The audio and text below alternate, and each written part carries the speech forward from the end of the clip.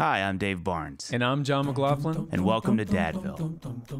Dadville is a podcast where we talk about life, love, and the pursuit of awesome dadding. It's funny thoughts and deep talks. So please enjoy your time here in Dadville and enjoy this episode with Very deep.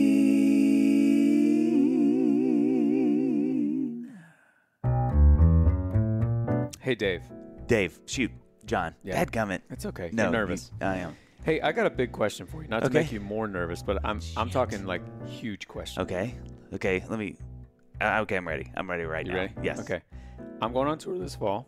Well, you are. Ner- my- you're nervous. I got to get my voice. little puberty flashback there. Okay, go ahead. I need a podcast recommendation. oh, okay. That's huge. Oh, that's a biggie. Um, have you checked out the Imagine Faith Talk Pod on That Sounds Fun Network? Oh, go on. I Oh, haven't, Okay, I okay. hear I was going to. You interrupted. I'll set it up like this, okay? What if two men on different paths, an ex male exotic dancer turned life coach and a pre med student turned musician, came together with the same realization that you don't have to sell your soul to obtain your dreams? Oh, and that the key to unlocking everything you've been dreaming of was found through faith in God. Am I am I on the right path? No, I, well, I'm listening. Okay, I'm picking I'm up in. everything you're putting down. I'm in. Let me, let me finish that. You, you kind of keep interrupting. Okay, but I'm subscribing. Right, hang on. Okay. Right now. No, okay, Done. I saw you do it. Episodes are hosted by Kevin Olusola, beatboxer of three-time Grammy Award-winning, multi-platinum selling a cappella quintet Pentatonix, and What a author. sentence. Life, Jeez. thank you. I'm just making this up on the fly. and author, life coach, and entrepreneur Donovan D. Donnell. Okay, well, did you know this? That through each deep dive into the Bible, they discover how to maximize uniqueness, weaponize the imagination, Ooh. and leverage faith in God for success. Okay. The hope is simple to find the tools to optimize your performance through partnership with God. Wow. You know what? For a new subscriber, you just nailed that. I Jon. did. I you did. And episodes come out every Wednesday wherever you download your podcasts. Imagine Faith Podcast. Man, that was good.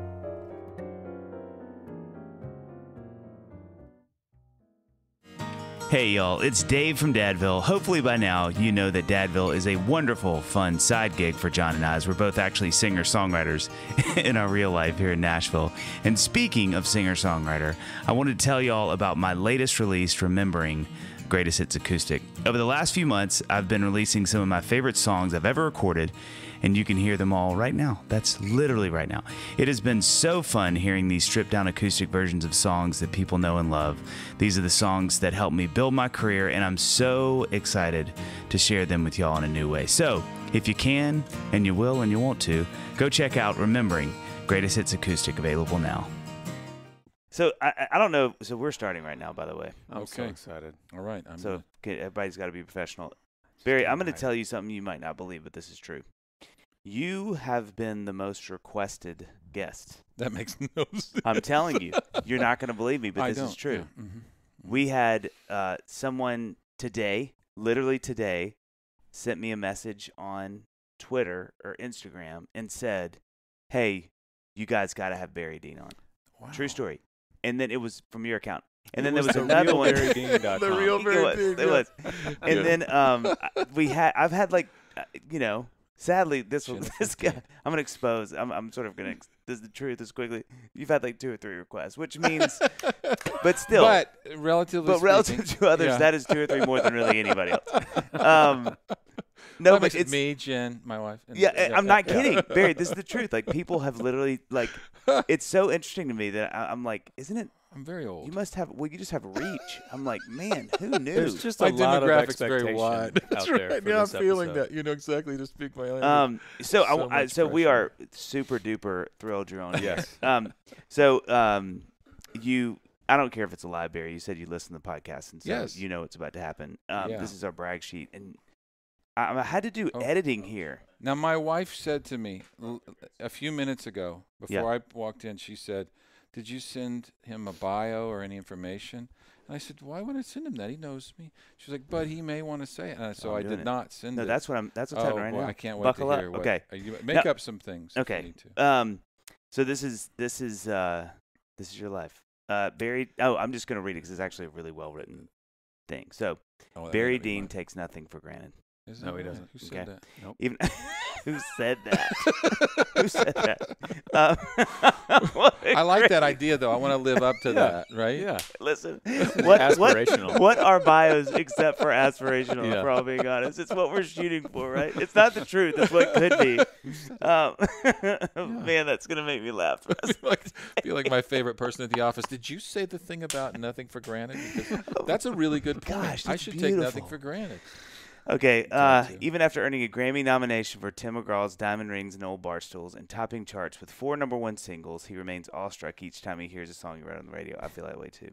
Um, Dean can still Dean. That's such a baseball name. Can uh, still can't help but think of how he seemed destined. There's so much this I want to talk about, by the way. To work a nine to five in Kansas, a fate that now seems preposterous Ooh. given his track Mm. record, which is punny. Two number one singles for Little Big Town Pontoon and Day Drinking, which are Yeah. jams. Yeah. Bops, as the kids say. Think a Little Less, which uh, topped the charts for Michael Ray. Heartache Medication, which most recently hit number one for Jon Pardi. Ingrid Michaelson's Top 40 Smash Girls Chase Boys. And an ever growing list of country. Isn't it great? Oh, no, I want Um, to talk about that. I want to talk about okay. that chorus. Yeah. We'll get there. there. I'll still be Yes. That's- It All the Pokemon all in the the West End beat. Yeah. Gosh, So. You jerk. An ever growing list of country and pop successes prove Dean is doing exactly what he's made to do. Here's the other thing I want to go back because I, I did a little compilation of a couple of bios. Um, the other thing, there's some really, this is one of my favorite things I've ever read. Okay. His first songwriting cut was Reba uh, McEntire playing uh, Moving Oleta, which That's is a beautiful song. Personal song Dean wrote based on his grandmother's love for his spouse. She went through Alzheimer's, which is amazing. This is one of my favorite things I've ever read. Next, it says his first single, Martina McBride's God's Will, was also personal, written in response to his daughter's premature birth. Mhm. Rolling Stone included, do you know this? No. God's Will on the list of the saddest country Oh. songs of all time. I'm so on. I, saw am- that I'm and I was that, like, yeah. what a Top 40. yeah. what a, Top 40 saddest songs. I was like, yes. that is a what a interesting I just want to be included. Well, I- here's yeah, the thing. that? Listen, You're in the here's the, thing: is that that is saying like to be on the country saddest list is like being on the heavy metalist most metal. Do you know what I'm saying? It's Yeah. like Yeah. the genre is came up. It's a sadness. baked in part of the genre anyway. That's right. to yeah, really gotta hit be that sad. bullseye. Right. If you think of all the sad songs, that was that was pretty exciting. Really. It's You're a just- bullseye within You're a bullseye. nailing. You're, yes.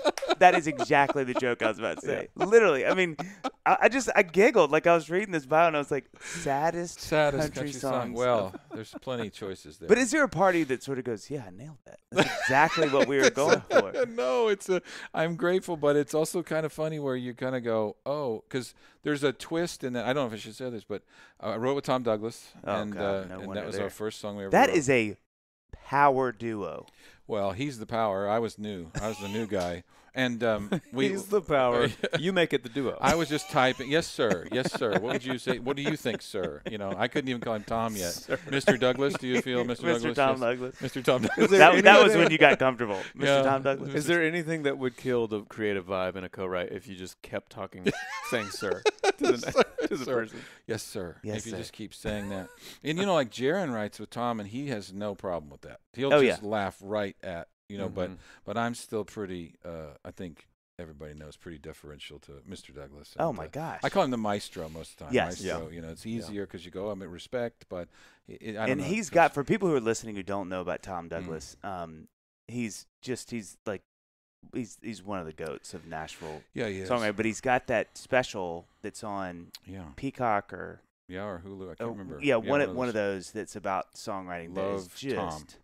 It's called Love. Anybody listening, if you like, even if you don't like, if you aren't a songwriter, but you just like music, it is an It's incredible thing. you know, I've known him a while, and um, he sent me a rough edit of that, and I it was during the lockdown, and I remember just calling him and uh, becoming very emotional, talking to him, saying, "You've made something here with this team, you know, that is." Uh, it's it's really art. It's really Yeah, beautiful, It's and so cool. don't don't edit it don't tweak Yeah, it don't turn it into it is what it's supposed to be just if i could throw my body in front of it and go this is Yeah. so precious Yeah. because it's very you know i loved his talk at the hall of fame Oh my gosh. there's a speech out there somewhere i think on youtube of his commencement speech Yep. at mba he, he's known for these kinds of things but but this was a moment where visually and and Mm. and the editing and the way they told the story was the best presentation of of kind of distillation of Tom's Yeah. life work Yeah. in a way. I think This is the documentary you're talking about. yeah, it's kind of this documentary of how he comes to be a songwriter, but he's talking to,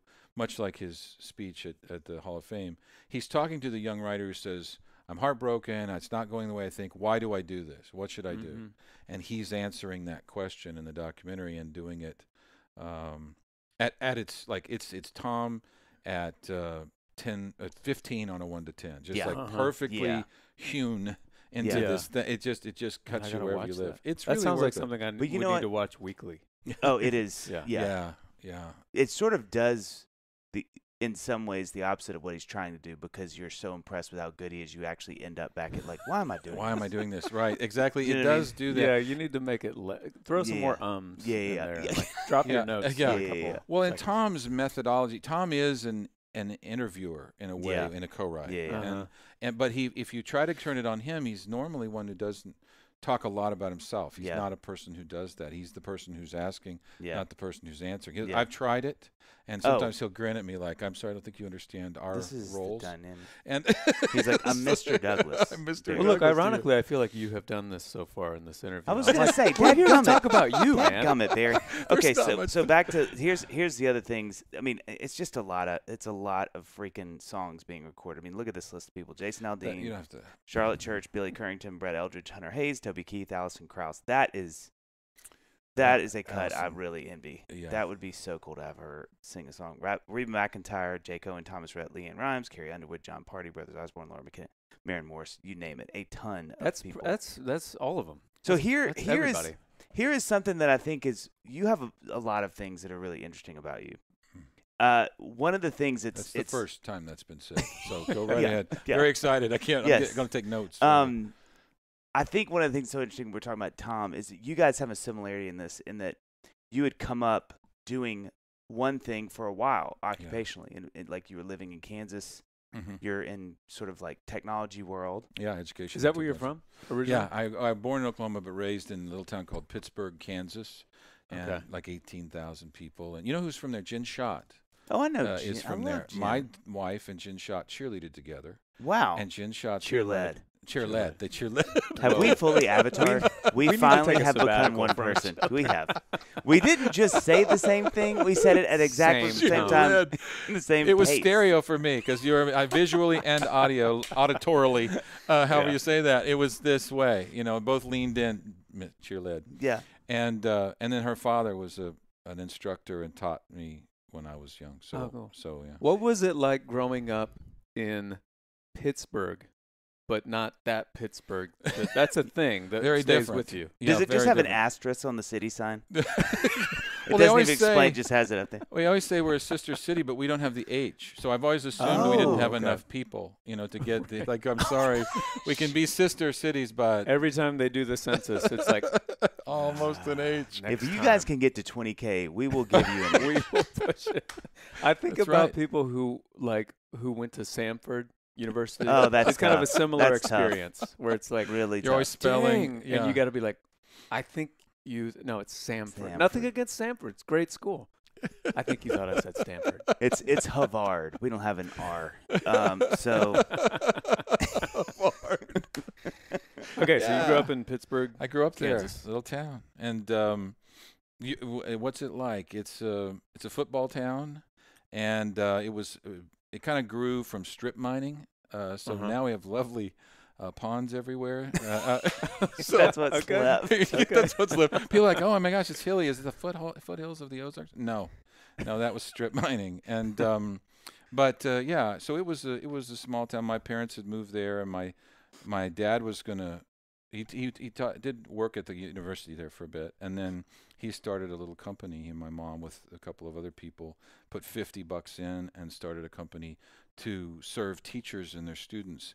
Specifically back then, like in industrial arts. I don't know if that's before your time, but you know, woodworking and leathercraft Mm. and all those things. So Yeah. yeah, servicing that, and then that moved into technology education, which became sort of applied physics, which is now called STEM or STEAM. Oh yeah, yeah. yeah, yeah. Yeah. so he was really early in that. and- wow.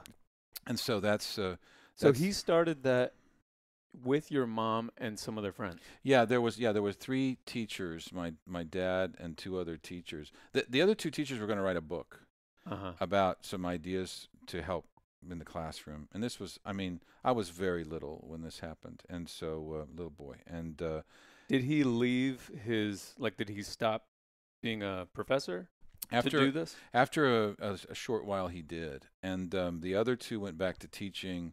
Uh, business was too stressful and too risky, Uh-huh. and uh, he and mom took it on, and uh, and you know just worked all the time. I mean, Mm, they just yeah. worked. It was just a really hard road, and and they had both come from rural Oklahoma, and uh, from wonderful families, but but no money or you know, I mean, they came from you know tough tough backgrounds, and Mm. then uh, found their way there and found their way into starting this company and and they ho- owned that company for 50 years in the end. Wow. So st- the statistical percentage of companies that last 50 years Right. is so small and for them to have owned it uh, for 50 years and they just sold it a year ago. What is the on the list of like companies that have lasted 50 years, but uh, but also who were founded by a married couple, who Yeah. la- and then that lasted. Yeah, I that mean lasted, that is yeah. that's a short list, probably. They're you know they're they work as uh, as a team, frankly. Mhm. Um, and Mm. you know it was a it was a I didn't understand what they were doing. I, I wish I could say that I did.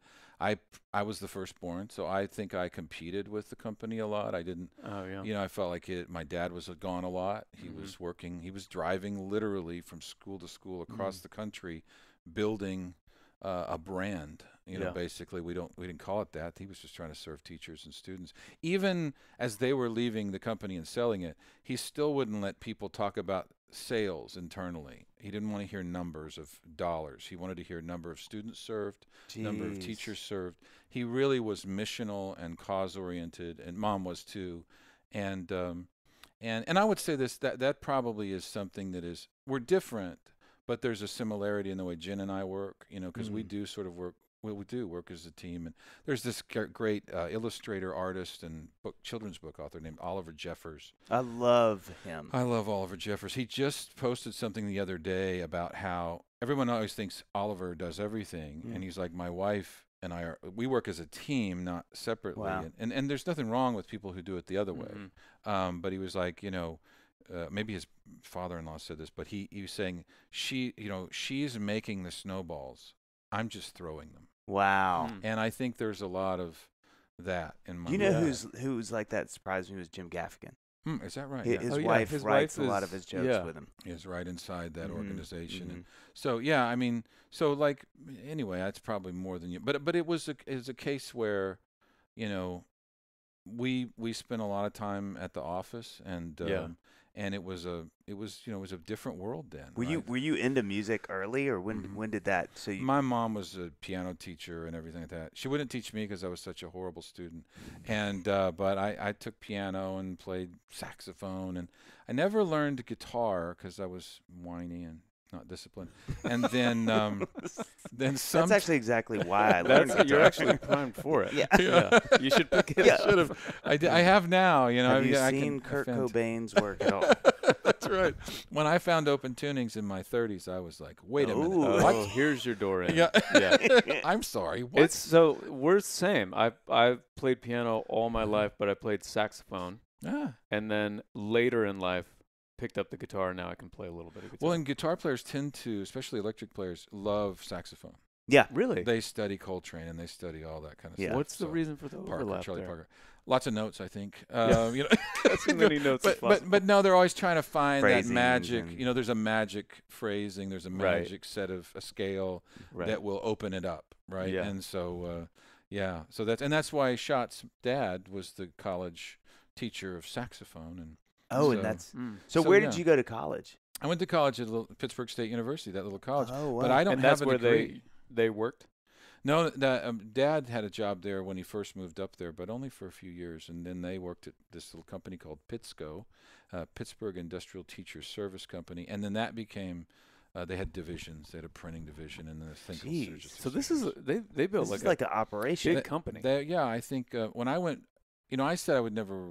I I worked there as a kid, I, so I swept floors and Mhm. packaged orders and all that stuff. But then when I got to be, uh, I kind of got the this idea that I wanted to be a producer or a songwriter when I was probably uh, seventh or eighth grade. But there Oh, was wow. no, there was no rock and roll allowed in the house. I mean, it was Really? you could have Billy Graham's fave, like you could have like Johnny Cash because they're friends. Okay. And you could have Elvis because he did the four gospel Right. records, and my dad loves those.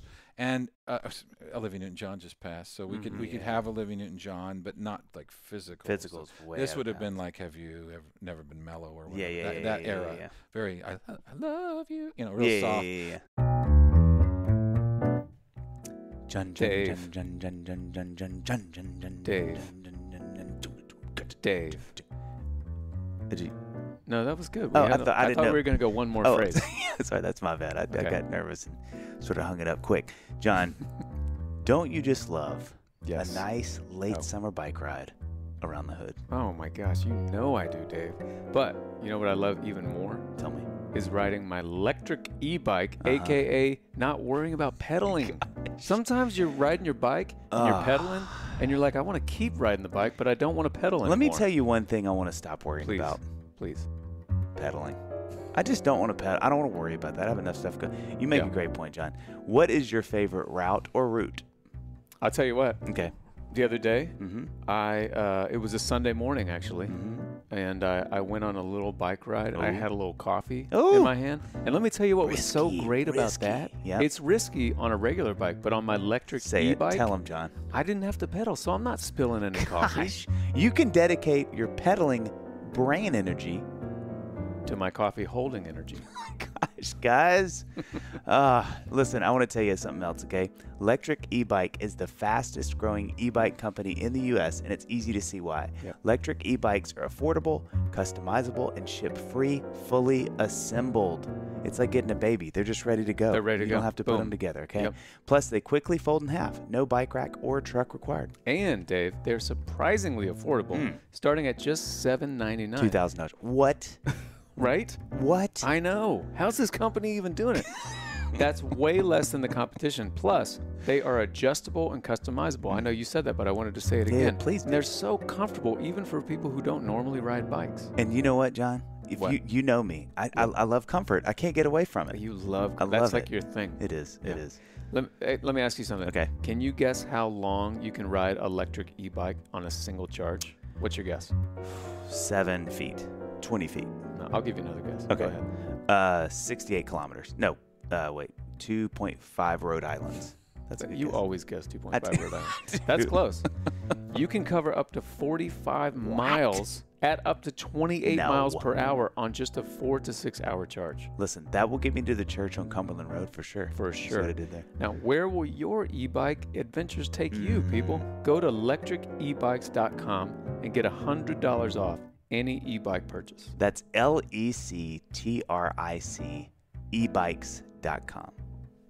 So when you were growing up, did you have a sense of like, okay, so I'm gonna wear out Johnny Cash and Elvis because that's that's the closest I'm getting to like anything you could outside. get. Yeah. Yeah. So you you mostly you're hearing. My mother liked jazz. I remember when because I'm much older than you guys. I remember when Billy Joel's 52nd Street came out, Mhm. and I was they would let me buy it because I told him it was jazz because he was holding a trumpet. Oh jazz, my jazz was fine. Jazz wouldn't You corrupt just anyone. like yeah. drew in a trumpet. Yeah, well, he's holding on the cover the the trumpet. He doesn't play the trumpet. He's holding one. I was like, Yeah. jazz, and uh, so Jazz? could be jazz. Surely he played some jazz. There's fest at some, some point. jazz You in found a ticket New stub. Orleans, you know. Yeah, there's a horn. yeah, so they didn't. So yeah, I, I, rock and roll was kind of contraband. You were supposed to do music at church, you know, that Right. kind of a thing. And so, So what happened in seventh and eighth grade? What was the thing you heard or saw that made you want to? well, I, I heard, I found out there was Christian. Well, my joke is I had a Christian rock band in high school that was neither, and which is true. It's so painfully true. We were just like the theology was bad, and the and we didn't rock, and um, but we were trying. The theology and the rock were bad. Both were bad, and um, the two but- things you were bringing to the table. And the saddest part is we were absolutely 110% in. You, you have Yeah. to be. You can't pretend. What you was the name of the band? Heartmender. Yeah. Oh, yeah. That actually sounds pretty intense. Oh, we had T-shirts and uh, all of that, and opened for. Well, I can't believe we're telling this story. Uh, opened for Joe English. Joe English was the drummer for Wings for a while, Okay. and then he left and had a Christian rock band. Oh, I kind of know about. and then he played in a band after Petra. That singer did a band called Pieces of Eight, and so um, we opened for him uh, in Minot, North Dakota, as an example. Mhm. And uh, our band opened for that band. John Lawry, who later ends up in Petra, was in it. George Cassini was in it. Jeez. There were people in that band that became session people here. The f- crazy part of the story is Wait, not and not in your band. You're saying the other band. in the other band. Yeah. No, not my band. I My was gonna be amazed if you're like My we were kind of a big deal. No, we were not a big deal. And um, but I'm going to say it was less than two years ago. Uh, we were sitting and visiting with Tom Douglas and me and some others, and he starts telling a story about his first trip to. And I know this is not a Tom Douglas talk, but why not? Um, his first time through in Nashville when he didn't kind of feel like he succeeded, and then he goes to Texas, and then he comes back as the Tom Mhm, Douglas. mhm. Um, As the Tom as the Douglas. Tom Before Douglas. it was the. As yeah, sir. Yes. sir- Before sir- he Sir was Tom the- Douglas. He was the Tom Douglas. Then he came back the, The Tom Tom Douglas. That's right. And Big so difference. on that trip, that first round, he became a road manager for Joe English. Wow. And we realized that we probably were there No together. way. We just No. didn't know each other, but Two legends crazy. of country songwriting. but we both ended up in a very cold place uh, with this show. And so anyway, And you were playing piano? I played piano. Yeah. Did you Yeah. write songs then? I wrote kind of, yeah, I wrote some bad songs. And then I did some music like when I was I came out of high school and um I I didn't ever graduate from college. This is something I'm very embarrassed about, No, no, but no. it's true. And um though in my lifetime now I have like way too many hours, but I'm lacking I need to go back for a semester and do like algebra, lifetime fitness. I'm not kidding you. Life. I've been a grad assistant twice at Colorado State, even though I don't have a graduate degree. Really? Yeah, and so I mean Do mean, they give out honorary high school diplomas? Surely you Yeah, got yeah, like a know. cafeteria named after you or something. no, no, I they that's not how that worked. And uh, so anyway, I I did make a couple of recordings. Uh, maybe I'm 18 of a couple of Christian songs. And while I'm there, I had a girlfriend. I made a pop version of one of the songs. You know how, to write, Maybe not.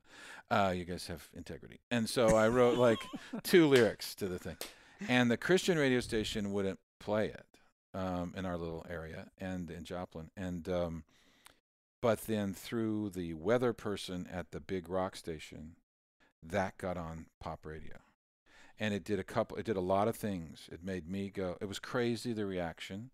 And all of a sudden I'm writing pop music and this is a big problem, right? In our the way I grew up was kind of a you know Yeah, that's not allowed in the house. Yeah, Dancing with the You can't even bring your own record home. right. I mean, Petra and Sweet Comfort Band were pretty radical, you know, White Heart's pretty sketchy. Uh-huh. And uh, so you're certainly if you're over there on the wide way. yeah.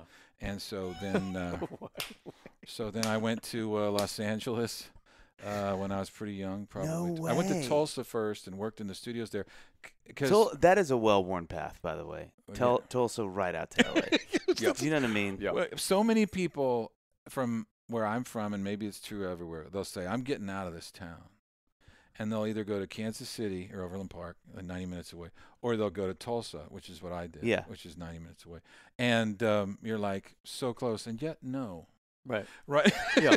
okay. I, s- I see where you're going with get out of this town, but I don't understand how being I'm gonna get out of this town. Technically. technically. Yeah. I'm going to go to Springfield, Missouri. What are you doing over there? Well, I'm going to do anime.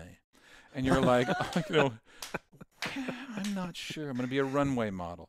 And it's just like you're so close. But um, well, I did So the same thing. I, I mock I'm myself. a deep sea fish Yeah, living so- in Phoenix.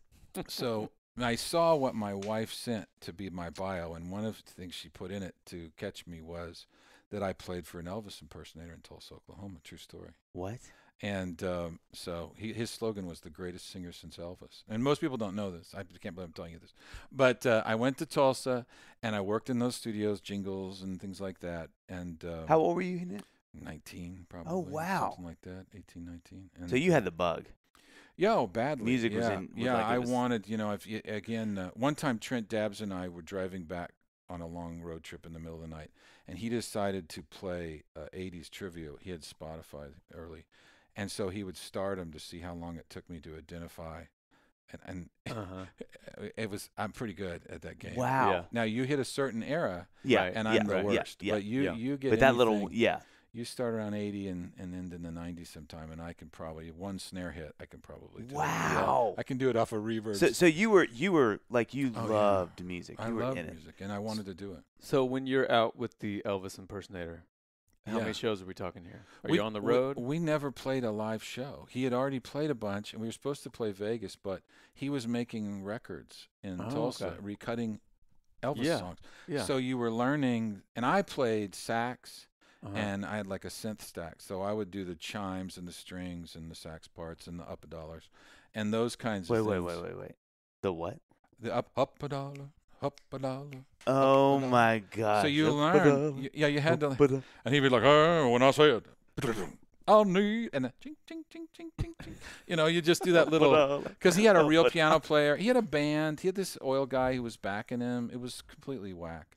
And um, after a little bit, uh, I just realized this was not. So then, but then you go to, you do go to L.A. I did go to LA, yeah, And how long were you there?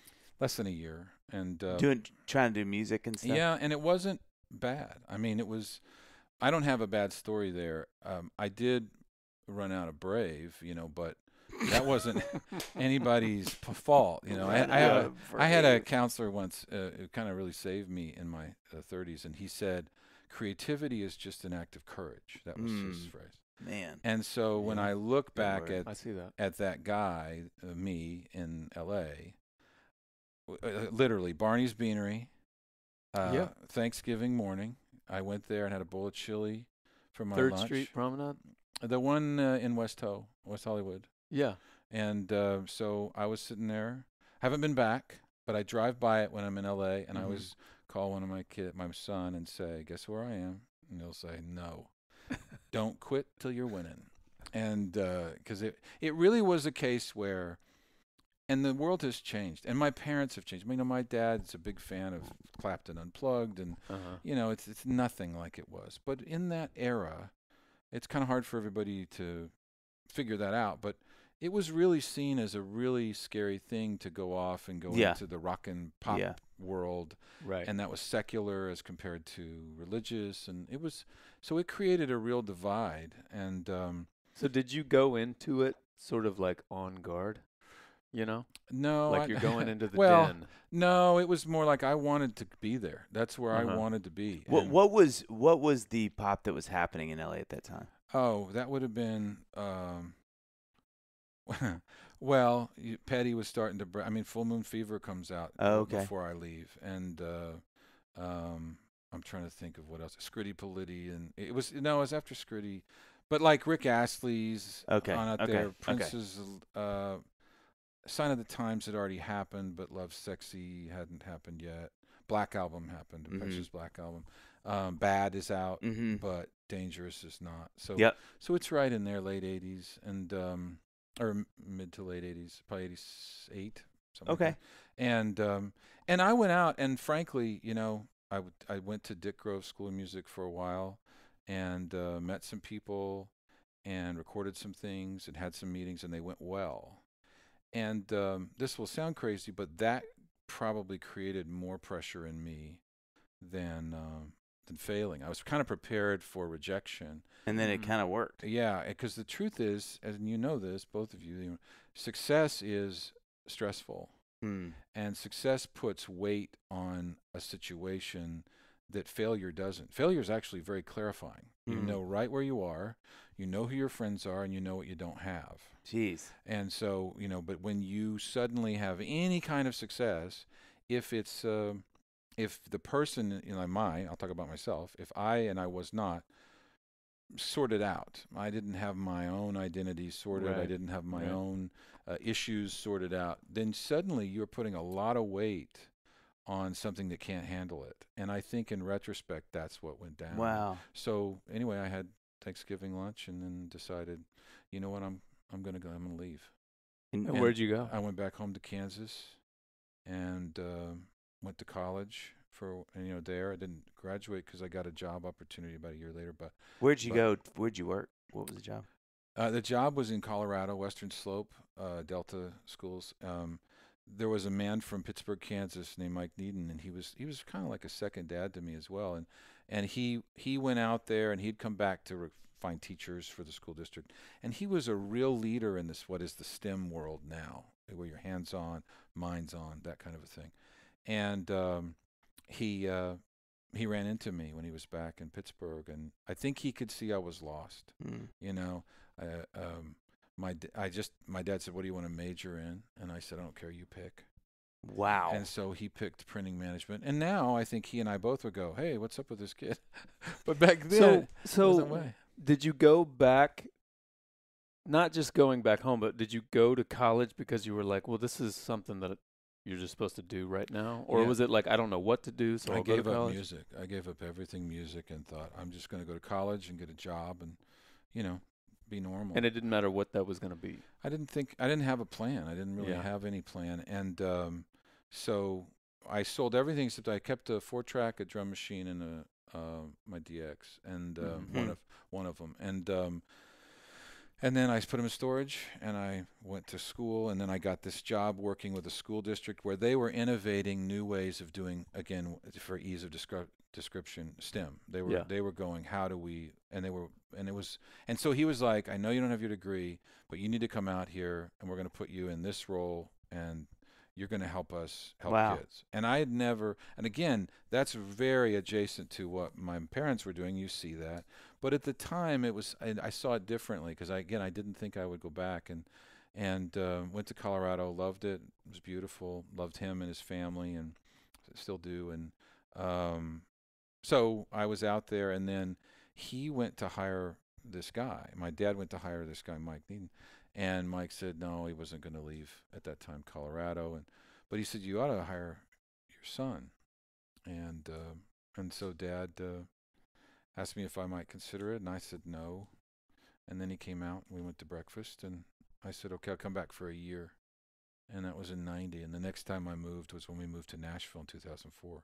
Holy cow. Wow. Yeah, so it, it was it was you know again that started a journey I think where you know kind of creating bridges between my dad and I and and uh, Wow. and understand and beginning to understand what he he and mom were doing and he, he really saw it I mean if he were here he would say oh I did these these many things wrong um it's just like I would say that about my own Yeah. parenting but the reality was he was they were a living and still are example of people who believed God had called them to do something not in a haughty way or a this gives me permission to way but in a it is my work to do Yeah. Yeah. that I am here to help teachers and serve in this way and he did that and mom did faithfully that whole time I mean they Wow. that's what they spent their life on and so sometimes that meant um if we took a vacation, it was related to a convention. If we yeah, right. anything we did was related, you know, the whole family was involved, you know, and so,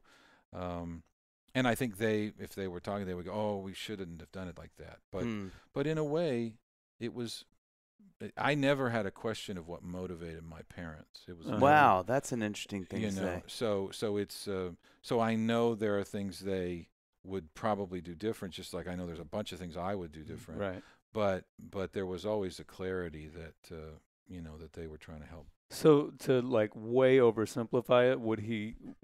Do you think that he would just say like, "I should have spent more time at home, like left work at work a little bit more, like had a, a little bit more of a balance there"? that's a great question um, i think there is an element of the way you were raised impacting your parenting and i think you know in that era to say i want to go be a musician or a singer or a songwriter or something like that it was not the american idol era it was Yeah. not yeah. that was a weird thing to say Well, you know what's interesting though, and, and I think it happened early enough that you were too young to maybe like experience it consciously, but your parents kind of did something that was unconventional, Yes. right? I mean, they Mhm. they broke away from what is sort of like the track and they did Yeah. something risky and entrepreneurial and all that kind of stuff. So I wonder how that affected, you know, they had to have some kind of a effect, even osmotically, in the house that like Absolutely. this is an option on the table. You could do your own sort of thing. You know? Yeah, when I was, I remember being in high school, my sophomore year, we had to do reports, and I, so I wanted to interview producers and engineers. So I literally, you could call information to get a number. I called, uh, uh, whatever it was called, Blanton and Harrell, Oh wow. and asked to speak with Brown Bannister, Uh huh. and um, and he called me back, and we talked for almost an hour. no way. And then I called L.A. Lions Share Recording and asked to speak with Michael Omartian, and he couldn't. But his engineer, John Guess, a brilliant engineer, called me back and talked to me for cow. a long time. And then there was another producer I called. Again, That's amazing. that comes from I think my mom and dad. Yeah, The yeah, idea yeah. that well, we we've got to do something here, and we can't wait around for someone to do Yeah. it for us. Isn't so, that fascinating? so yeah, great. there's a very there's still very much that way. You know, like a that's- can do. y- you just got to figure it out. I Yeah, mean, yeah. And, uh, you can't. Uh, and I think probably the other thing, I think, uh, you know, he was very encouraging, and I was, a, you know, I was a firstborn. I was stubborn. I'm uh, a Taurus or whatever you want to use. Um, I- was a difficult kid, uh-huh. and um, and so I think. Um, well, I'll say this: in my 30s, I read Five Love Languages for the first time, or maybe it was late 20s. I guess it was 30, maybe. And it changed my life Yeah. because I suddenly realized he was trying through acts of service to communicate something that he didn't really have the words for. Yeah. Yeah. And it, you know, and it really broke my heart because I Mhm. realized that I had been waiting all this time yeah. for this other thing Right. Wow. and it really changed how I I saw him. Yeah. you know, and uh, and so that that really helped. Did you have that revelation while you were still living there? I did. Yeah. oh, so that I, I'm sure that helped, right? Yeah, and yeah, I think so. And and again, you know, he's he's we're both a lot older now. We talk all the time, Hmm. and uh, and I'm really grateful to have his his advice. You know. So Yeah. so so this is such an amazing story. So the way that you got, I I, I want to hear you tell the story because I think it's so great. But just how your wife encouraged you to do. So you you were living in Kansas, working with your parents, at Yeah. your job, yeah, and obviously s- music's still in there. It's percolating. It's sort of yeah. I it's interesting that you didn't sell all the gear.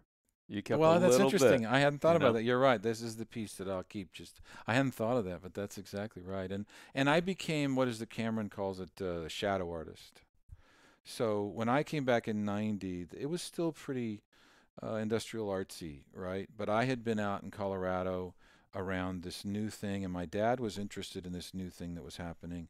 The rest of the little company was probably, you know, 16.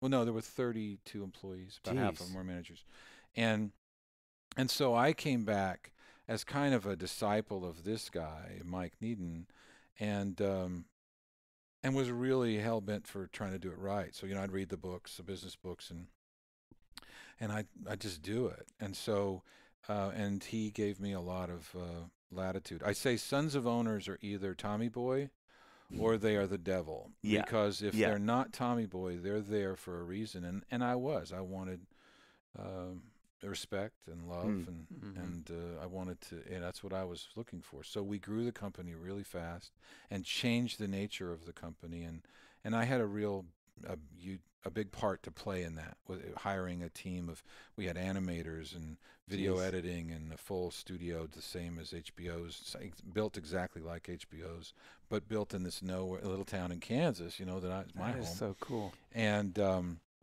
so we built the company up and um, but then there was this question always you know in the back so I would buy gear when I would fly to LA or something I'd buy different things that I couldn't afford when I'd been there the 1st Uh-huh. time you know and and slowly by slowly I'm putting stuff together and then there was a young Christian artist uh, in our town and uh, she needed a place to record, so I let him use that, and I helped with that record, and and she got signed to Gotee and did some. What was her name? Jennifer Knapp.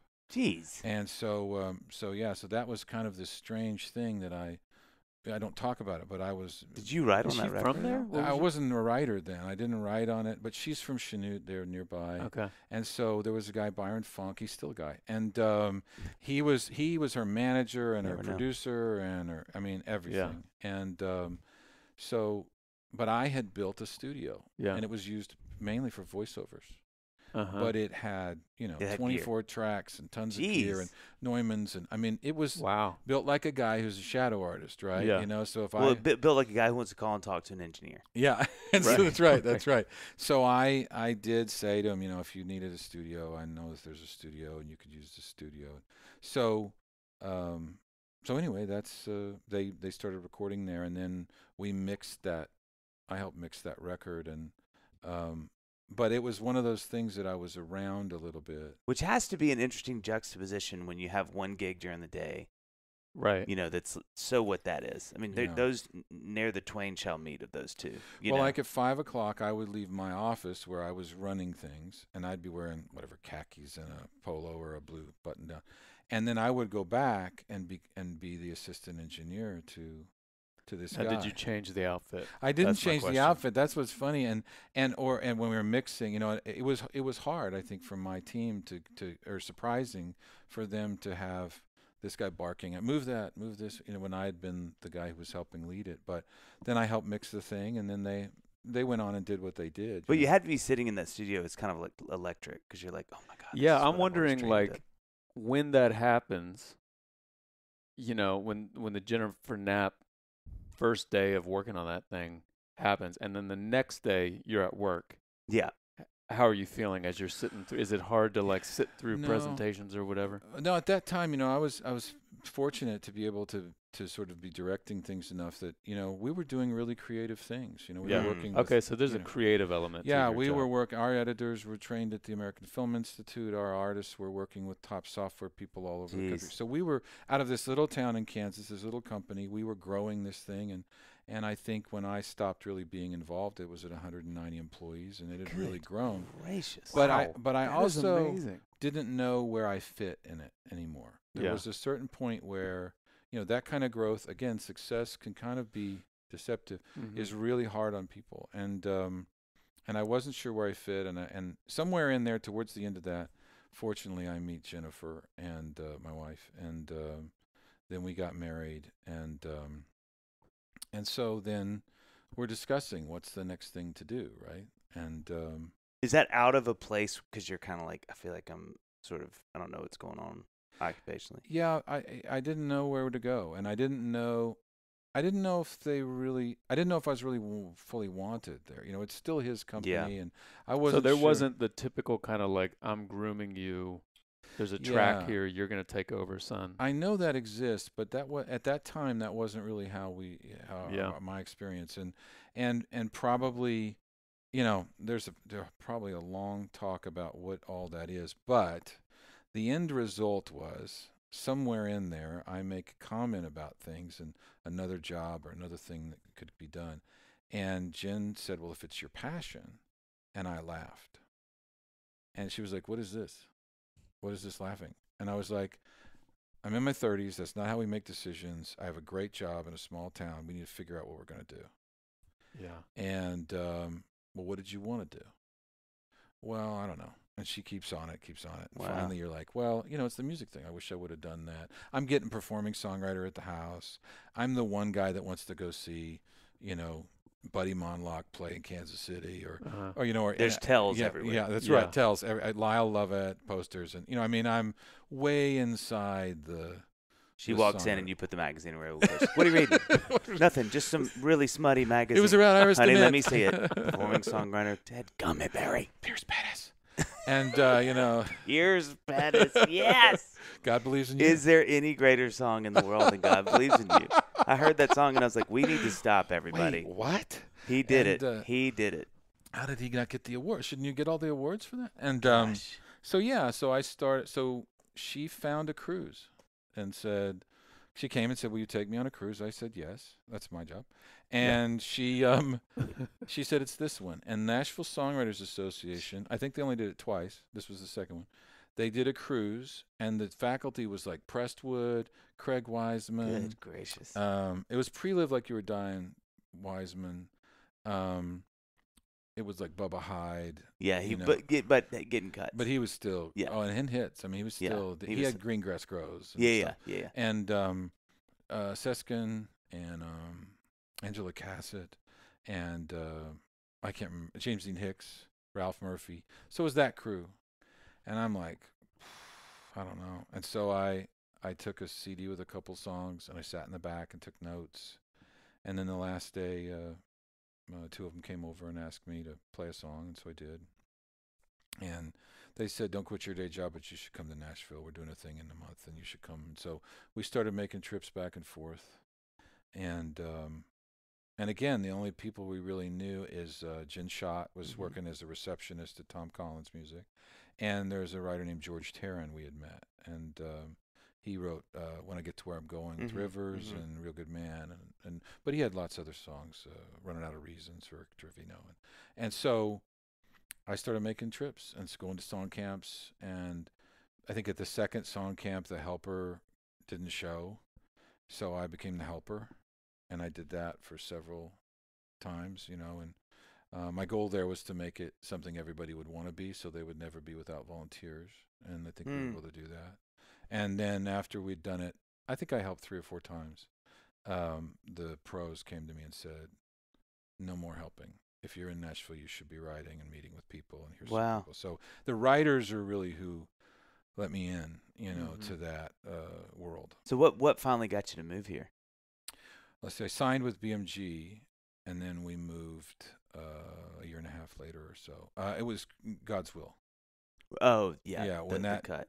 and the truth is, and you may know this, this is maybe why you're asking, but that was one of the bigger arguments Jen and I had because my argument was like when I first said I was gonna, well, I didn't tell anybody. Isn't else. it? Can I just pause to say how fascinating it is that the answer to your question is a song called God's Will, but it's also just God's will. I see it. I see it now. I see it now. But uh, at the time, well, and you know, I had issues with that. You Hmm. know, and th- that was a place of. Oh uh, yeah, literally, like Yeah, theologically. Yeah, it was a pain point, and um, I see that now. Yeah. But at the time, you know, I was still trying. You know, I'm trying to write clever songs. That's what I thought I was supposed to do was write something really clever, and then they'll they'll sign me, right? Because I wrote something really clever. And um, I see that, you know, where people will think, "Oh, my, the goal is the flip, or the goal is the wink," Mhm. and um, and so anyway, what what happened really was, um, you know, once we started, once people found out I was trying to become a songwriter, um, a lot of people that had been friends. I had some that stayed right with us the whole way. In fact, that's what we focus on.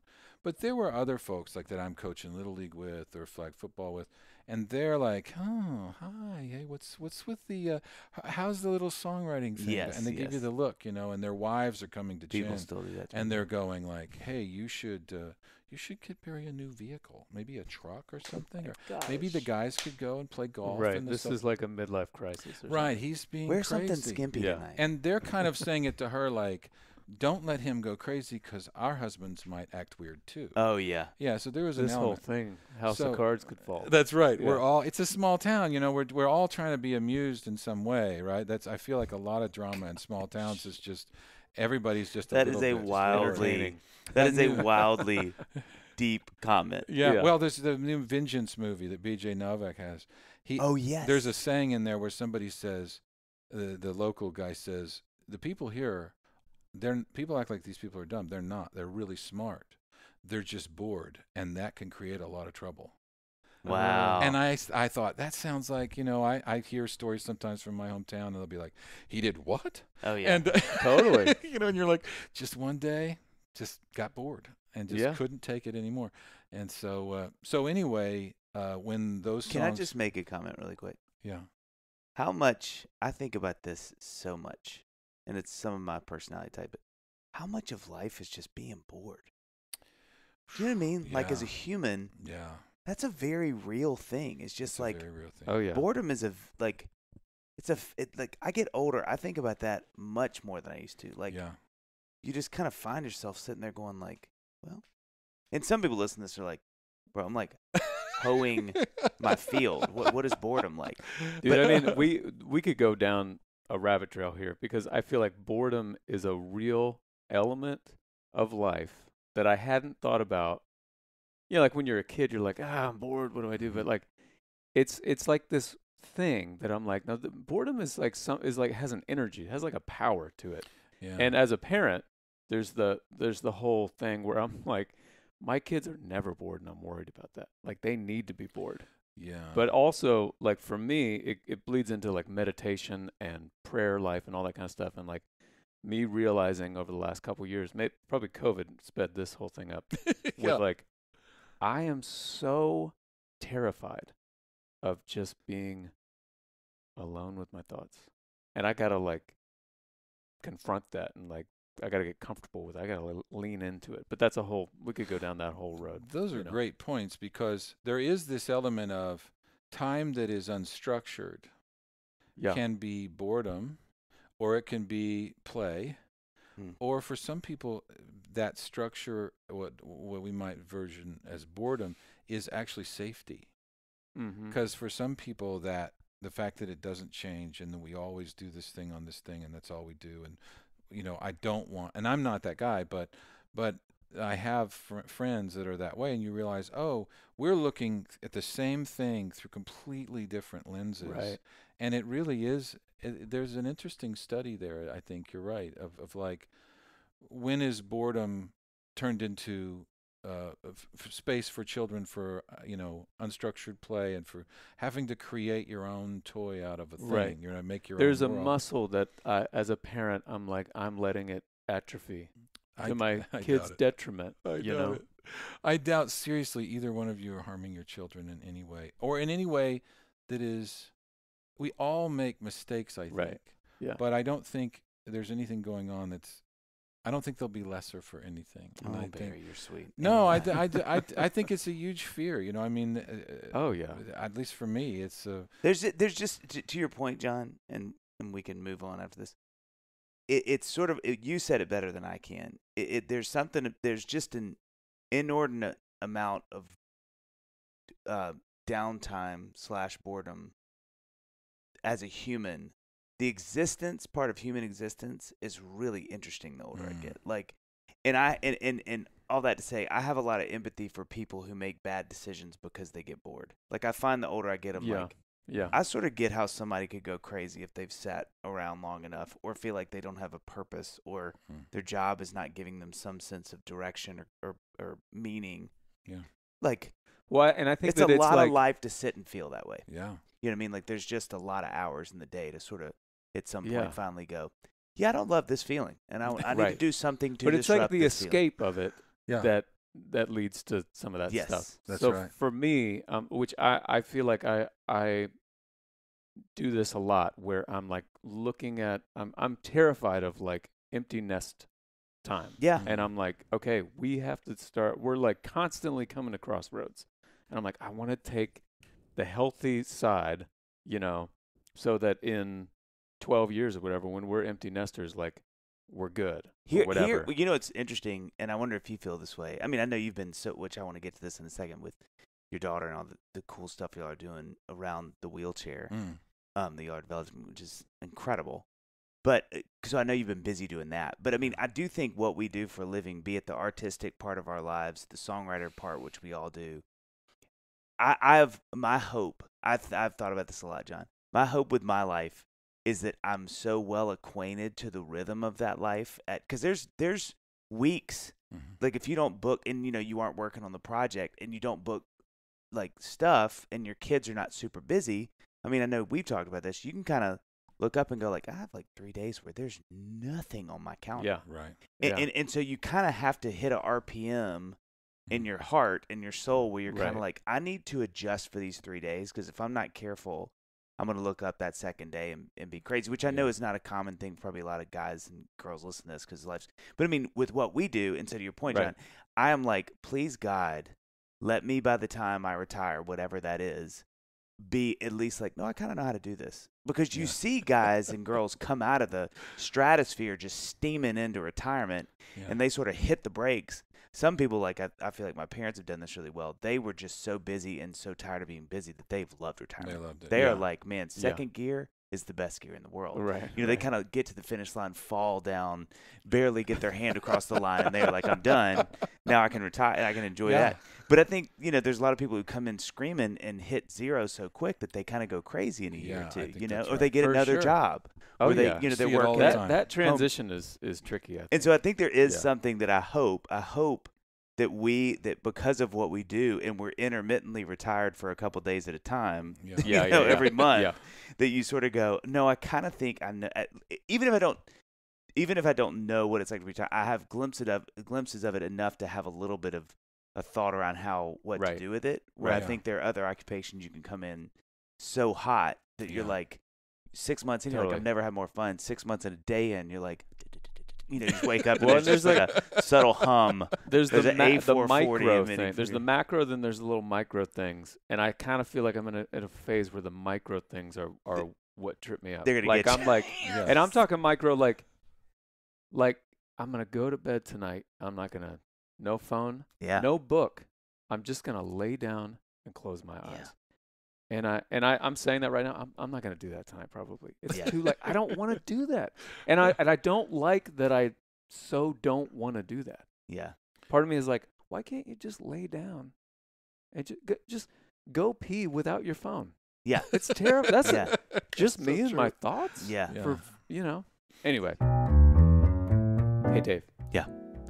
I would like to oh give. shoot i'm sorry john okay keep going Oh, there we go. I didn't even bad. catch that. yeah i'm so comfortable now Can I can I say something from our, our sponsor BetterHelp right now? Free your mind, and the mm, rest will follow. Listen. Speaking of mind, Yeah. my mind gets hazy sometimes with all that. the pressures of daily life. Yeah. I don't know about you. Oh, mine too. How well would you take care of your car if you had to keep the same one for your entire life, right? You'd probably take care of it. That's how Really our brains work, John. So why don't we treat them like that? I totally agree. Yeah. There are plenty of ways to support a healthy brain, like learning a new language or taking power Oh, naps. there we go. There's also BetterHelp online therapy. I'm all about them naps. Plus, since it's online, it fits within your schedule. You That's can right. do video, phone, or even live chat sessions. No need to comb that hair, Johnny. No, no need. But I'm glad and it's you do. much more affordable than in-person therapy, and you'll be matched with a therapist within 48 hours. Our listeners get 10% off their first month at betterhelp.com slash dadville. That's betterhelp.com slash dadville. I don't think I had se- uh, a, a day or moment that I was awake or even asleep without music blaring. Yeah, Uh-huh. yeah. No, this you're until I explaining my life. Like, till I was definitely late into my 20s. I had a counselor, the same creativity as a as active courage guy. Um, he was in Springfield, which was like you know, let's say an hour and a half away, a little less than that actually. But he would say, "I want you to drive over, no phone, no music, nobody coming with you. I want you to drive over to the thing and drive home." And I remember the I, was, I can still when you were talking about that, I can still remember that first drive. Seemed like it took forever. If I'd have been Yeah. a wagon, it wouldn't have been slower. and uh, it just felt like wagon going backwards. you know, I felt like I was just like, but over time, I got I got where I could could do it, and and now I'm more of a friend with. There's an old uh, there's a singer from the way way back named Randy Stonehill, and uh, I don't even know this song, but I just remember this line all the time, uh, and it it bothered me when I was young. And the line was, "It's like I we know in our soul if we to- turn off the music, the wind will be crying his name." Wow. and um, and I was always like, I don't want to turn off. The, I, I always wanted it Yeah. on. You know, I always wanted something to comfort. Yeah. And but I also would say this. I just uh, about that. There is when empty nest occurs, which was probably for me never. But when that happens, there will be a new thing that is as Mhm. good or better, Yeah. and that's just as hard to prepare and trust for Right. as knowing. it is. You know, I mean, the true. unknowing is very hard, and and I know that's going to be the case, and and but it's it it's a hard thing to do, and I also think there are seasons we go through, and I don't know, you know, uh, this would have been a better qu- uh, topic with Al Andrews, I think for sure, and uh, but I do I remember reading a book about seasons in a in a man's life, and and I remember thinking, oh, I see now. Like I I used to feel so much guilt that I worked a lot and I Mhm. do wish I worked less, and I do feel bad about um, lots of choices I made. You know, especially with my oldest and working so hard and being gone so much. And uh, at the same time, that was the season I was in, and that is something that, right or wrong, he took from me, Mm. and I Yeah. took it from my dad. Yeah. And so Mm. there is a certain point where um, it does become what you know, and um, and whatever you do, they'll probably uh, some one of them will react to it and do the opposite, yeah. which is it will be interesting. They'll be like quietly meditating all the time. You'll be like, how in the world are they doing that? And Yeah. uh, they're just doing it to make you crazy. That's Yeah. all. tell me this. What what tell us about what you've been working on lately. I think this is Oh, just such yeah. a fascinating thing. Yeah. So uh, several years ago, four or five years ago, um, my daughter Catherine, um, also Jen's daughter, uh, is uh, in It a happens wheelchair. to be. It happens to be. So convenient. She's in a wheelchair and she has cerebral palsy. She was born very, very early, and um, and I don't advise it. I say you wait the whole time. I think you know just It just makes everything it's a 40 easier. weeks. Just just Yeah. wait the 40. I just, Just settle in. Stop being impatient. And uh, but she was born 16 weeks early, and so um, that was a whole journey, you know, that we went on. Cause she's how old now? She's 21 Okay. and um, and you know that and that that you know this I think, but that fundamentally changed how I wrote songs. I wrote that day with Mm. Tom Douglas my first time, and I threw every clever idea I had, and he took me to lunch, which tells you how bad I was doing, and uh, the old Houston's were I Big was yes, Uh-huh. yes. and uh, and then we came back to Fire Hall, Sony, and um, I don't know why, but he said let's go back in, which I can't still can't believe he did. Uh, um, changed your life. Yeah, and we go back in. He says, "Is there anything else?" And and I'd kind of run out of clever things to say. Mm. And um, but when Catherine was in the NICU in the middle of the night, somebody had said, well intentioned, as we were walking back in that NICU uh, in St. Louis, um, somebody said, "Well, we don't know why it is, but this is God's will." And on the walk in, I said to Jen, "Oh, look, there's God's Isaac, and there's God's." Mm. And she said, "Careful, you know, like where are you going with this?" And so that night, I wrote.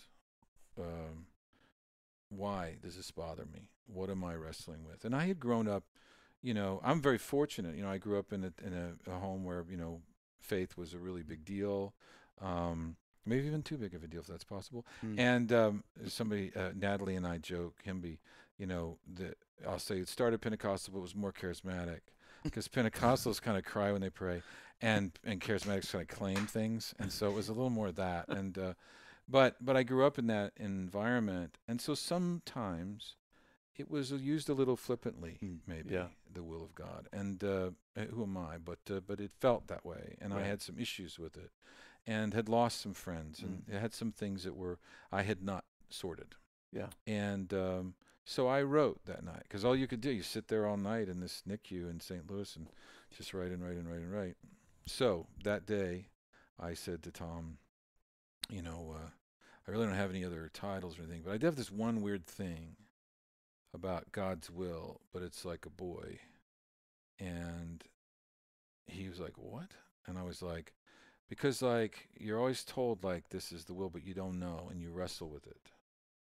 And then Tom knew, you know, being a Presbyterian, he spent a lot of time over there. And that's the reason I thought of Tom, you know, Calvinist. And uh, so uh, glad that's over with. And uh, One of my favorite jokes of all time. What does the Calvinist say after he fall down the stairs? I'm so glad that's over with. Yeah, I mean- predestination. And uh, so, uh, so he he took off and and uh, sort of played something, and then I played something, and then we started working on something. And he said, "What else do you have?" And I opened my journal and tore the pages out and spread them there. And I like to say, then Tom Douglas taught me how to write a song because Yeah. Uh-huh. he basically was like, "This is what you're wrestling with, and this is what you're trying to say." And Mm. and then uh, and then we wrote that song. So Catherine has always been a very interesting person, you know, in you know, and I think that's why I was so freaked out with Oleta and God's Will when they got cut because I thought if if it has to hurt this bad to write a song, Yeah. you know, but Yeah. at the same time it also made me um, neither of them followed the structure of the time and neither Mhm. of them made sense as commercial. I just thought, well, I'm going to try to follow this path that that you know Tom is showing, and Mike Reid was such a big Mhm. deal to me, and still is.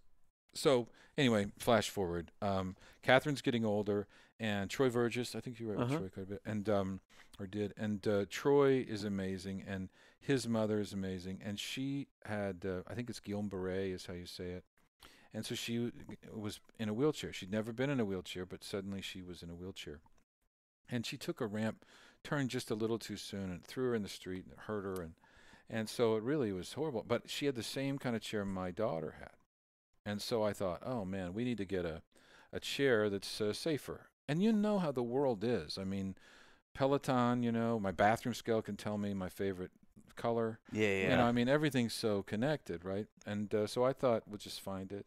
I couldn't find it, and uh, then uh, I called my brother. I said, "I'm doing research. I can't find this. There has to be. Maybe it's in Europe, a smarter chair that has some basic collision avoidance, like a car would have, or drop-off protection, or just actually something we could hack, just a brain on it that Yeah. we could hack."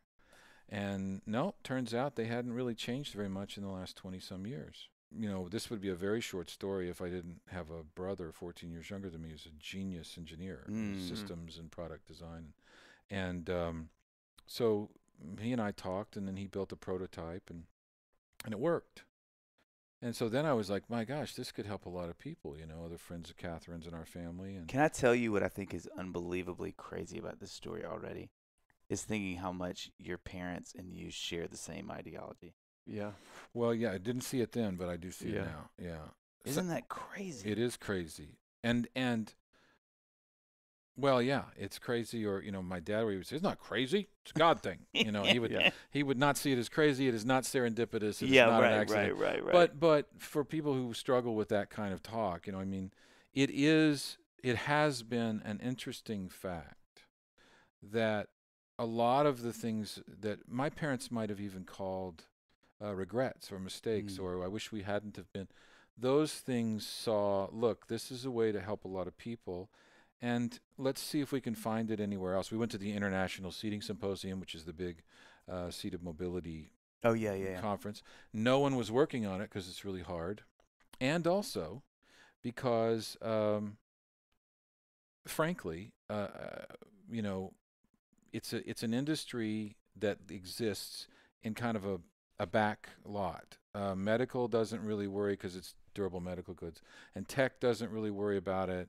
And uh, you know, so it's kind of over here. Even if you're getting your degree in physical therapy, you might spend five years on your degree and only spend five hours on wheelchairs. Yeah. And if you think about it, there are lots of people who, you know, work with a physical therapist. Oh, we'll get you back playing golf.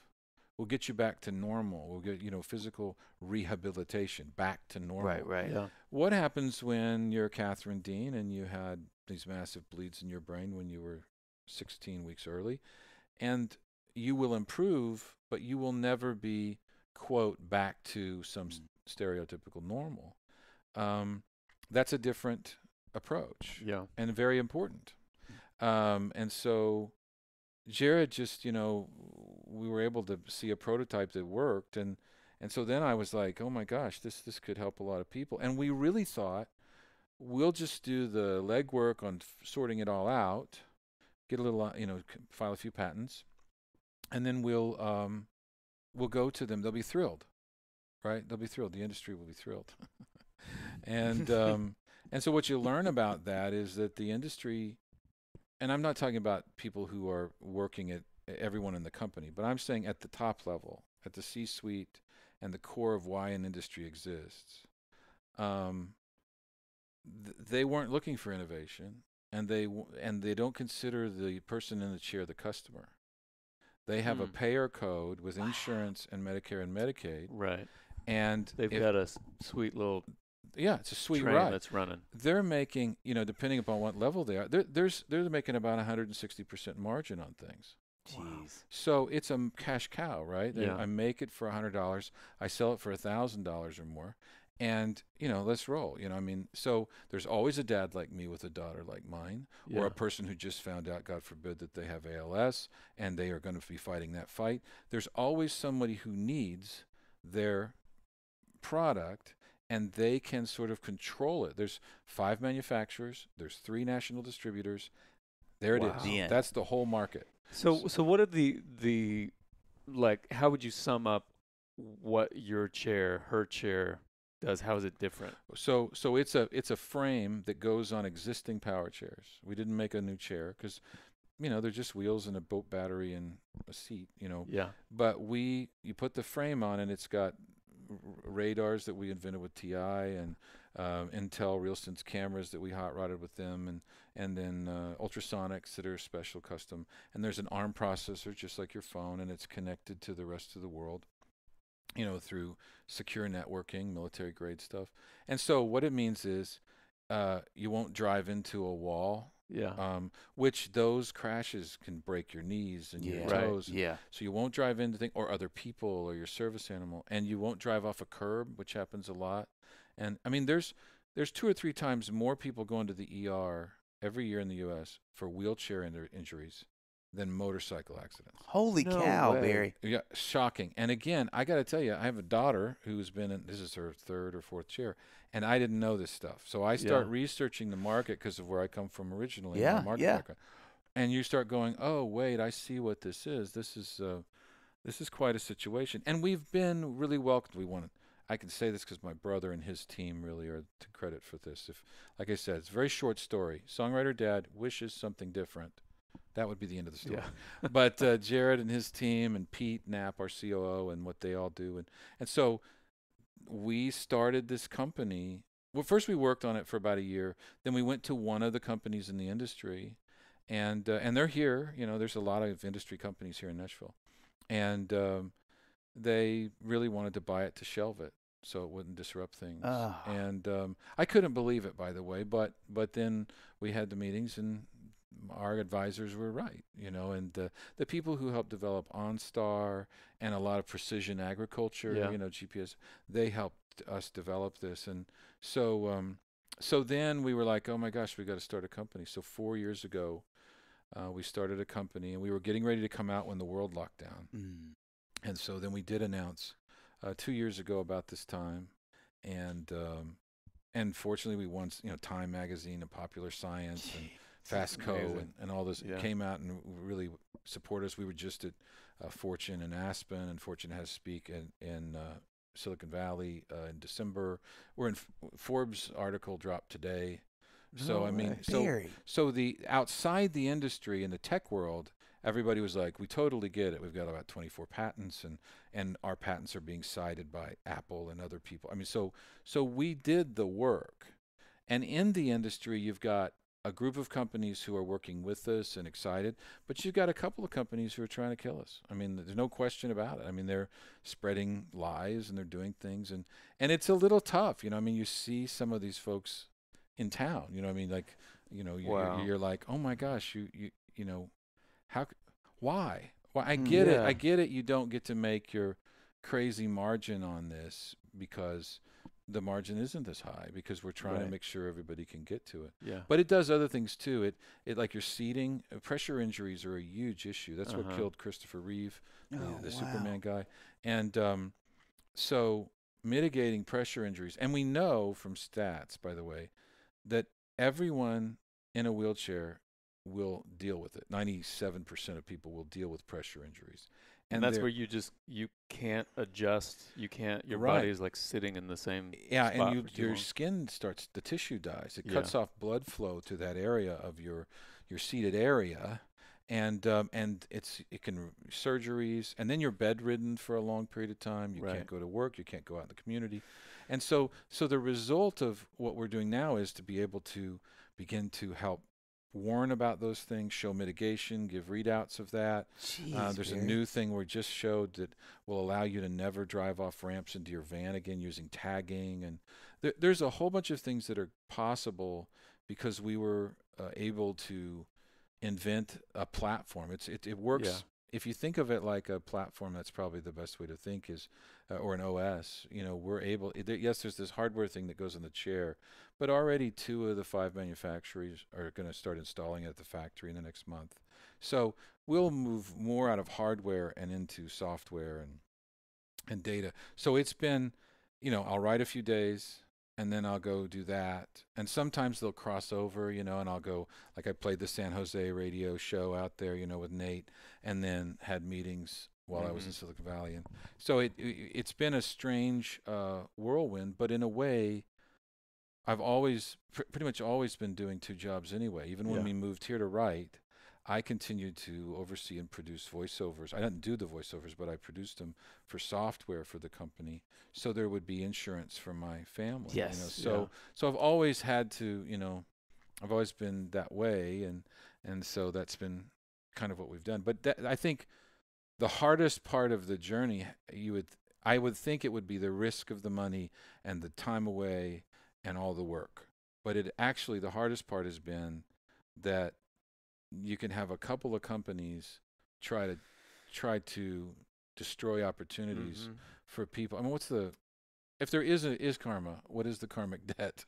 Ongoing. Look, all they would all a person would like is for their wheelchair to be as smart as a toaster, Right. and you're stopping that to be. oh, able- I you can't know, imagine. And it's it's so personal for you. It couldn't Yeah. be more personal. Yeah, and so it's it's been a, and now we're doing right now we're working with investment and funding, you know, and getting the next round of funding for the company, and everything to this point has been uh, our family, and uh, Mhm. but but now, so that's exciting. You know, in the next few months, that'll start to close and and be done, and that'll allow it to to kind of take off and grow, and and I believe you know we'll come back in a year or so, and and what you're going to see is a lot. I mean, there's right now there's a million more people that live their whole life in wheelchairs and they get to buy a new one every four or five years. So uh, one young lady called it her pair of pants she has to wear for five years in a row.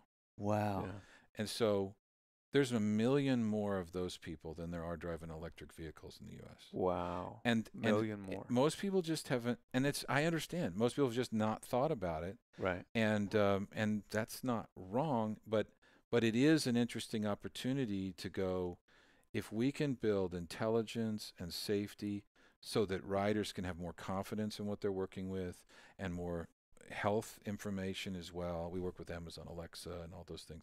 And Wow. um, and then I want us to start working with you know festivals to provide Yeah. lanes and and it's so that way everybody's safe in their travel and and we're encouraging people to get out and feel a part of the world. So how do you how do you work with like insurance companies on getting them to cover because I'm I'm Yeah. I'm guessing this is this is a lot more expensive than a regular chair. Well, yeah, they buy the regular chair, and um, and this is interesting too. Um, for instance, my daughter's chair is like a Camry. It's a Uh-huh. very nice, but it's not. Yeah. But it's it's very nice, and the retail on it was eighty two thousand dollars. Wow. Now that gets settled out with insurance in the high thirties, and normally I write a check for some feature or something. So like Yeah. if you want a charger for your phone on a wheelchair, that's a five hundred and forty dollar option. Seems a little sti- steep, does it not? I mean, and uh, yeah. So if you want tilt and recline, that's that's ten to twelve grand. I mean, so every little thing is a is a money maker, if you will. Right. So the that's a bummer. But w- the answer to your question is, we assumed LUCI LUCI cost about eighty five hundred bucks. We thought, oh, that's going to be private pay, but um, but that's not what's happened in the first year plus of our business. Uh, only four percent of our sales have been private pay. The rest have been covered by Medicare and Medicaid. Wow. That's insurance. great. And and over half our sales were VA as well. We've been Yeah. done a lot of work, and that's, you know, it's that's the best part of the the LUCI journey, and and and it was a scary thing to do. I, am not going to lie. When we first started, there were a few friends that were like, "Oh, don't tell anybody in the music business that you're doing this, or they want to write with you because you're not focused." Hmm. and I was worried about that. And um, but but at a certain point, we just decided to do it. And some folks did go. So how's the little wheelchair thing going? Mm. You know, just like my friends had done. You know, and, Yeah, and I get it because it's so Right. weird, right? So if I looked at you right now and said, "I'm going to be an underwear model," you would go, "I don't know." And I'm uh, interested. yeah. Is this a special magazine of some kind? Um, but but so I get it that it's It's performing it- it's performing songwriter, and there's a new section. knew it's like after the petty interviews, then comes the strange deal where the pity size- interviews. plus size call that. songwriters, yeah, There's petty interviews and pity inter- pity, I'm gonna do pity underviews. pity, Pity underviews, very There you go. nice, and so That it just feel like I hear you talk about it. I'm like, I just can't think of more of a love letter to your daughter. It just Totally. feels like this incredible. Obviously, you have a lot of sweat, blood, sweat, and tears in the project itself. So I mean, me saying that's a very poetic thing because you're like, you should see how much I've worked on this. but you know, Right, it, it just right. I can't think of something that is more of just a beautiful example of a dad trying to serve a child. Well, and Yeah. you all we all want to serve our kids, and especially I would have to imagine when you have a child who is dealt the hand that she's dealt, yeah, you want to help all the more. And and so often it's like you can't do anything. You can just be there. So to have this thing where it's like this is a kinetic thing that I can like really dive into has got to be really satisfying. I think so, and I, I um, I, you know, also I'm her dad, so um, I'm sorry, I'm keep rambling on these crazy stories, but one of the first things Jered and I did was Catherine had an issue at night, you know, where she'd have a lot of saliva and it Uh-huh. would pool. It was kind of gr- gross, and I felt bad. It was on her skin. So I said to him, "Could we make a pillowcase that would wick like ShamWow it, but feel like a spa?" And my brother's like, "You're such an idiot," you know. He's he's just putting up with me. And uh, but uh, but but he figured it out. I could say we figured it out, like when we write Yeah. a song. Yeah, I right. wrote it down for Dave, right? It's same No, deal. Jered you do that. figured it out. He Yeah. created these layers, and and so it did it, and so it was really cool, and we did them, and several people use it. I think Mhm. uh, you know, I think Sean McConnell's daughter used it. and Oh, yeah. Other folks used it. Uh, um, the fact is, uh, that's not as big a problem now. But my daughter doesn't use it because it doesn't match, and that to me is the most dad moment where you're That's like, so great. I saw this problem and I Right. fixed it. Here it I is. fixed it for you, honey. Here you are. It's red and does not go No. with what I am doing here. Oh she didn't say it like that, but it, it is funny. Like so, you know, with with a lot of the things we're doing now with LUCI, um, I think she's. You know, somebody asked me how does she feel about it. Mm. I'm not sure she's fully aware that it's catching her when it's catching her. yeah. What she's aware of is she's allowed to be more independent Yeah. Mm. and do things she wants and she has her freedom and we aren't messing with her chair and Yeah. she likes that yeah. and i think the seating will be the same thing she will really enjoy because pressure injuries are are a devastating thing and and so the idea of mitigating those and and making those less is uh, is a worthy thing so yeah. How do your How do your sons think about it? Like, I think uh, I'm not sure that my 13 year old thinks about it very Mhm. much, um, but my 15 year old wants he wants in the fight. Wow. So, yeah, he's um, he has a polo uh, with LUCI on it. He's Yeah. always wanting to I go. love He's that. repping. He's aware that we're engaged in you know marketing strategy. You know, you have typical marketing, but then you also have some marketing where you're trying to to deal with an ecosystem that not a whole ecosystem, but a few players that are they're bad actors. They're they're they're they're basically being bad guys in the movie. Yeah. Uh, one of my good friends, God rest his soul, but he used to always say, "I want to make sure I'm the hero of the movie," mm. Uh, and he would always kind of encourage me when it was a tough time, and I would think, "I'm going to say, do whatever you want, just make sure you stay the hero of the movie." Mm. The hero of the movie probably says he's sorry. yeah. You Yeah. know, the hero of the movie's going to admit when he's he's wrong, or he's going to not say it even though he could. Right. And it's hard for me, you know, but it's helpful to have that. But there's some people who are being bad guys. And as he became during lockdown, where I'm working in the front room and he's in the other room, he he he took it. He's he's he wants to be a part of it. So Mm. I think if we go back out on the road, um, doing road shows and meetings, we'll, we'll probably let him go and stuff. Oh, And that's so he's cool. um, but I think he he sees it and and he'll send me notes. You know, have you thought about this? You know, uh, so this cool. YouTuber did this. You could do that. And Johnny, Dave. Johnny, Dave. Johnny. Dave. There it is. Okay. Okay. I, I was looking for the right one. Yeah. Um, I got some bad news, and you've written a song about this, John. Yeah. I think I know where you're going with this. Would you say it? Summer is over. Thank you. Yes, I wanted you to say that. We were tangled in the morning sun. Ugh. I want to do that for years. years, John. Yeah, yeah. I, I, you know, I'm looking at my calendar and it agrees with you. Yeah. I think you're right.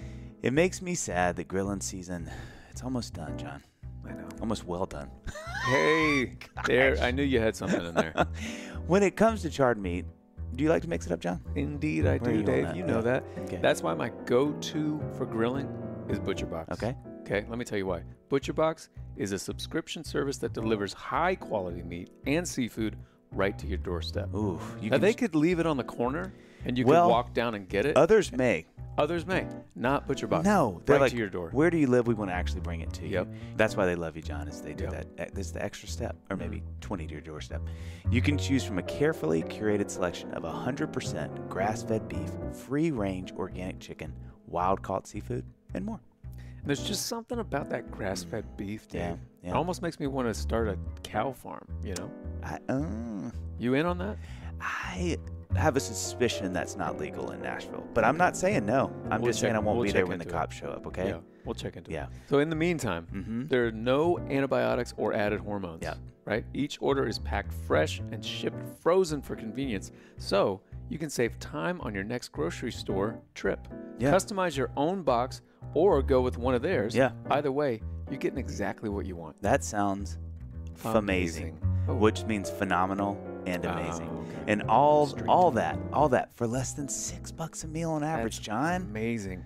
Get summer sizzling Mm, started, look even though you. summer's almost over. Yeah. With this special Butcher Box deal for our listeners. Free Don't say it. bacon. I'll say it again, Dave. No, I didn't even Free say it. bacon for the life of your membership plus a hundred bucks off. hmm Sign up today at butcherbox.com slash dadville and use the code bonus100 to get one pack of free bacon in every box for the life of your membership plus $100 off your first order. That's butcherbox.com slash dadville and use the code bonus100 to claim this amazing deal. Again, It's running parallel. it is so Yeah. stinking parallel Yeah. to your parents Yeah. that your son is picking up. Yeah. At least your eldest, your youngest is probably like, you know, Yeah. he's he's it's like you and your brother. Yeah. he's like Yeah. the- the- I'm gonna live this life.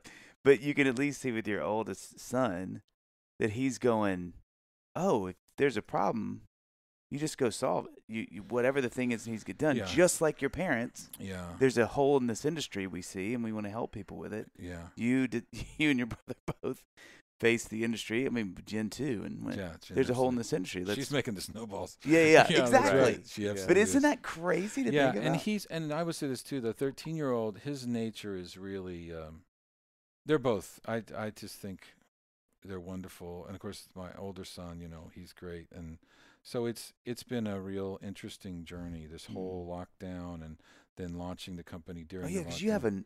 Son older than. Yeah, my oldest Catherine. was 30. That's right. Yeah, and uh, so when she uh, when I met Jennifer, I was a single dad raising a boy, and Can we even Um, skip that? Come on. no, Barry. that's all right. And uh, so um, I've put uh, you know 28 years or whatever and 600 miles between that story um, and me. But uh, but no, it is one of those deals where you know when we moved here, we had Alex going into eighth grade. Yeah.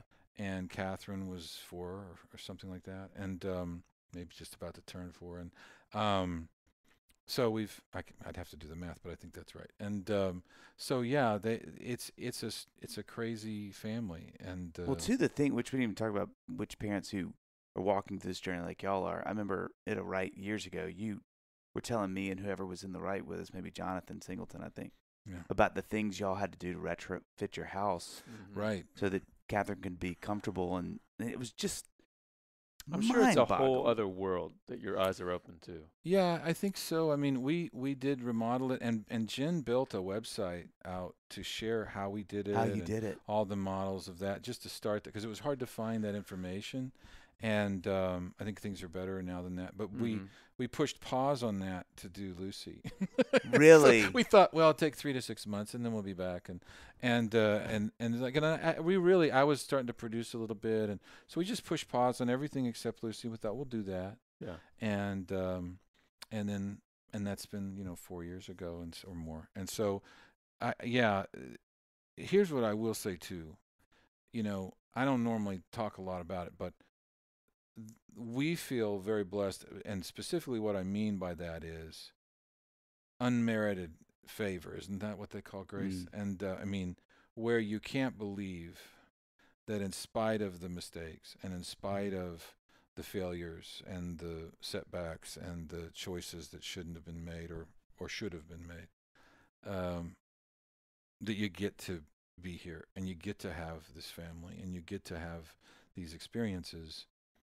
Um, every day I have to do my prayers and my things I read and my object writing. I do I have a pretty ritualistic about it. And um, because I want to make sure I'm set as well as I can uh, in that attitude. Because it's very easy for me, at least, to slide into the gray or the dark. Right. Mm. Uh, Yeah. And maybe that's part of the songwritery Mm. Yeah. the melancholy thing. Well, but Don't want to lose the whole thing. saddest songs of country music. saddest so song too. there you go. That's your gasoline, though. So don't let's yeah. don't get rid and of even it. Right. that, even the sad song thing, there was a moment where one day somebody said, "Have you heard this song? It's really sad." I can't remember what it was, but it might have been like Three Wooden Crosses or something like that.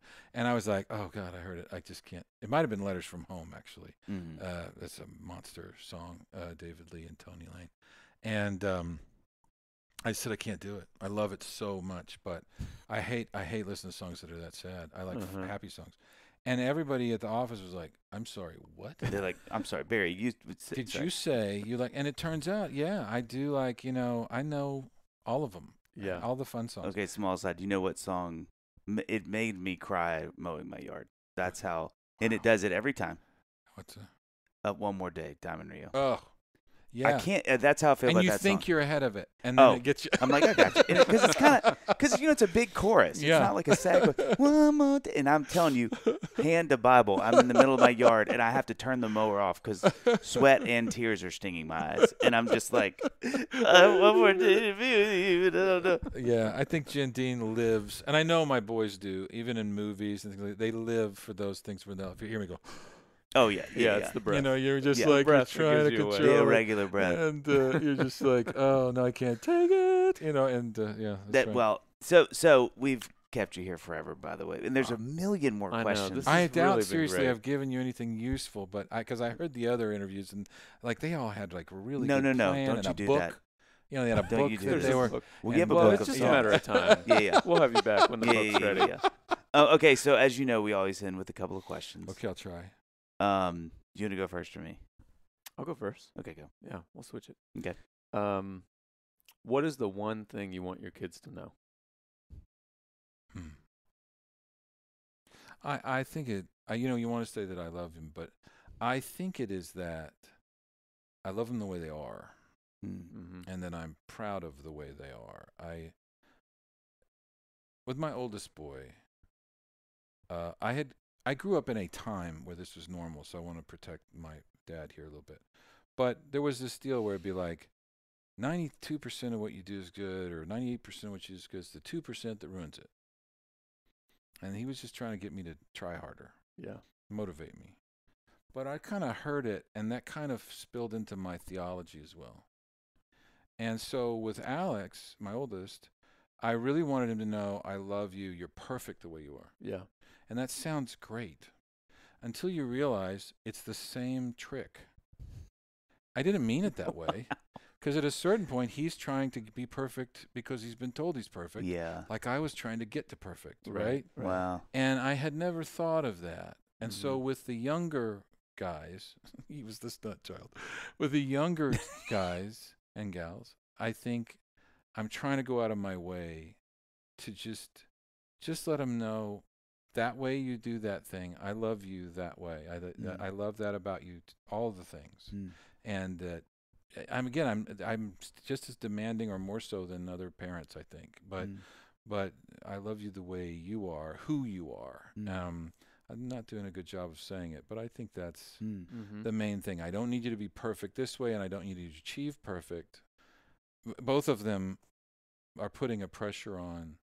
Uh, I'm thinking of that Counterfeit Gods book. Yeah. Yeah. Too much. It's too much for the for their their feet to hold, and Yeah. uh, and so so I, I've been trying to do that because they're very different. Each one of them, you know how Yeah. it is. I mean, they're, Yeah. they're different. They're similar, but they're very different, and uh, so That that is small aside. I mean, I think it, that's a ten part series for Dadville. It's like how children from the same parents can be so wildly different. Right. And just Yeah. the idea that like and this is wisdom we always get on this show, but like how you just can't do like this is the way the Dean's parent. This is the way the Barnes parent. blah, blah. Well, and they have different upbringings. yeah, same that's house, exactly right. That's but exactly two right. different experiences. yeah. I mean, different. that's why birth order is like it is. All those things, Yeah. but it's yeah, you're right. There's this. Those are all frames, aren't we? I mean, like love Mhm. languages and birth order, and there, there's so many helpful now frames yeah, that let you kind of read it and look at your world through it and go, "Oh, I didn't see. I was not aware of it. Yeah. I live in it, Yeah. but I didn't see it." And so I feel like those kinds of things, like the birth order book, and the, mm-hmm. and that those things are like these give frames. you a little. Yeah, it's like we really said, love language. I mean, that's a game changer, man. Yeah. It, for me, it was. I mean, I'd never thought any of that, but oh, you read it and you went, "Oh," and it's helped. You know, it, I, Annie and I had a conversation the other night, and I told her this, and we've been married almost 17 years now. it's one of the most um, helpful, eye-opening conversations we ever had because at one point she looked at me and she's like, and I'm I'm I'm uh, not exactly quoting because it was more eloquent than this. Basically, she just said, "You've got to understand that I'm not and I never will be the way you are." Mm, You know, and you're like 17 years in. That should be like if there's a list, that's near one or two. yeah. Of just kind of like things you should know by now. Right. But hearing her say it, I thought about it for a week. I was like, I am still under the impression that she should be like me. yeah. You know? totally get that. And so I think I think that with kids too, and I think that's a whole other again topic is like there's usually a kid that you relate to or understand much more than the other ones because they're like you, yeah. Right. and you're like, oh, I know every and that can little. send you in two different That's right. directions. That's Yeah. depending right. on how you react. To That's it. right. Yeah. That's exactly right. but yeah. all that say, okay. Second question: um, What do you want your kids to say at your funeral? Uh, light years from now, so far away, because by that point you've developed heart technology that's Bluetooth that keeps your heart pumping yeah.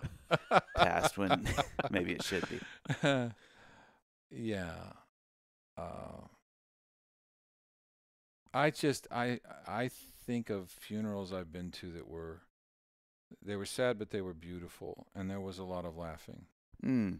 and there was a lot of like uh, I hope it's not unfinished. I I hope they feel like um I, I hope they're sad. I always joke, say, I hope they're sad when I'm gone. Um, but uh, they they probably won't be. Uh, but um, but what I really want is them to not feel it's unfinished. To feel like wow. I didn't, I never knew that part of him, or I didn't know Mhm. who he was, or yeah. or he he didn't ever tell me he loved me, or he didn't. You know, I mean, uh, you know, I know people, and and even in our in extended family, who you know they never really felt their father told them they loved them, or they never Yeah. felt. And and so I don't think that'll be the situation. And I, I but I just I hope it doesn't feel unfinished. I always feel. Um, I feel like you know well, we have that a mutual friend who passed away early. You Mm. know, and I was talking to somebody who worked with him. You know, was like a, you know, I think he was his mentor. You know, and and he said, well, he he told me this thing and it really hurt me, and I don't know what to do with it. And I was like, Mm. hey, if I could just step in here as a guy who's a decade older than him, if he had lived, I swear to you, one day he would have woken up and gone, Yeah. why did I say that? Yeah, Yeah. yeah. And he would have called. So just let me Mm. be him and tell you, I'm going to take this thorn out. Mm. Yeah. I'm going to take it with me because I I knew him just like you knew him, and I don't believe that's what he meant. and I don't Yeah. know when you caught him, on what day, he hadn't had his caffeine or whatever was going on with his health, but I don't want you to carry that anymore. Mm. And Mhm. so I hope that it, whatever happens at the funeral, um, I'm a bit of a control freak, so that'll probably be planned already. Because if somebody gets You'll up there and starts. Sometimes we'll go to funerals and I'll say to Jen, I swear to God, if this happens, I'm coming up out of that casket. Yeah. I am not going to put up with this. And uh, so there are times where I'll say, but I, I want them to feel like it's okay if they're sad, but, and I've said it to their face. Mm. If, you know, we've had losses just like everybody Yeah. has. And, and so I've been on planes recently a lot for that. But I said to the guys, someday I will die and it will not be a crisis in your life Mm. it'll be perhaps sad or perhaps celebration and they Mm. always like whack whack and then i'll say but but it won't be a crisis because you'll know i love you Mm. and you'll know what our what our faith teaches us and they'll decide how they're going to deal with that but i think they believe that way and and uh, and we'll see each other again so I, I just it was it wasn't talked about a lot in my family um and so I've tried to talk about it a little bit in the sense of going, I'm going to sh- tell you this is out here and tell you you will be okay. Mm. That we have something else to hang Yeah. our hat on here. And um and so anyway, that's that's how I've approached it. There's something so powerful about being able to talk about it. I remember the first time my dad and I, I was back in this when they were still living in Knoxville, and uh, we would go on these epic walks, me and dad, when I go home, and and I just asked him, I was like, "How do you feel about dying?" and like, "What do you think about?" It? And it was one of the most powerful like hours Yeah. of my life, just hearing my dad. You know, it was super light, wasn't heavy. He Mhm. wasn't and it was appropriate. It wasn't like he was joking, but it was just kind of like, you know, Dave, I, I'm I'm proud of my life. I feel, and it was just some like it exhumed something in me that just felt like, huh, okay, that's not Mhm. That's a beaut. I've never heard somebody say unfinished, but that's how I felt. I felt like that's one thing now I know. I have something to. Yeah, when it happens, it doesn't feel. Unf- there's not like. you hear people talk about when they've lost uh, parents when they're young, Mm. and some of them become great writers. You think of Paul McCartney and Mm. Lennon, and, and um, you know, but but that seems to be what I hear is.